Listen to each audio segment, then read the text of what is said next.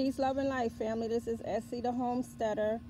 I wanted to bring you guys a video today. Um, I'm out here in the yard as usual, trying to get a few things done as always. And I want you guys to take a look at what the prolific squash is doing. Okay, as you can see, it is traveling over to the raised bed that I had harvested uh, 10 pounds of potatoes so what I'm gonna have to do is really go in there and, and um, prune back and also harvest because there's a bunch of zucchinis in there. And a lot of times you have to step uh, step back just to see because when you up close you don't recognize a lot of the uh, harvest like the beans and the cucumbers.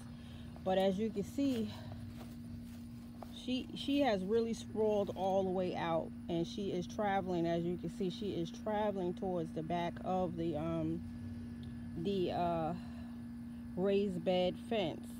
And I'm gonna have to really get in there and prune her back so that I can see what's going on in there. Um, and also spray for you know um, insects and spider mites and all them crazy bugs that come.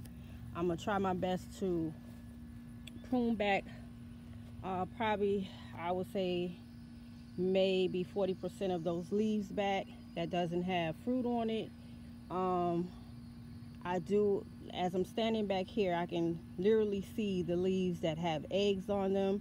So I have to get rid of those eggs. Um, let me see if I could get in a little closer. And you might, that's crazy, you might be able to see underneath that leaf. Can you guys see that? Um, it's a lot of eggs on it.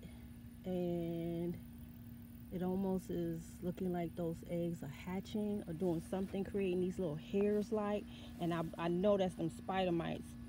So what I'm gonna do is get inside, um, start pruning back, and probably do harvest at the same time. So let me get my stick because I don't want to be up in there without anything to push these uh, stems around. And look, y'all, y'all see all that squash that need to be harvested? And you see right there where I planted the other seeds.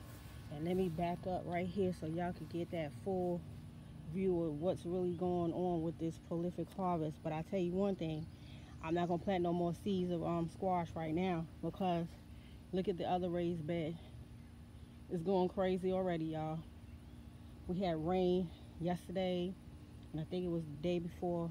It made it super muggy out here. The humidity's probably at daggone 90 percent um, so I'm gonna put the camera down and then I'm gonna get on inside there y'all. So y'all just bear with me okay? All right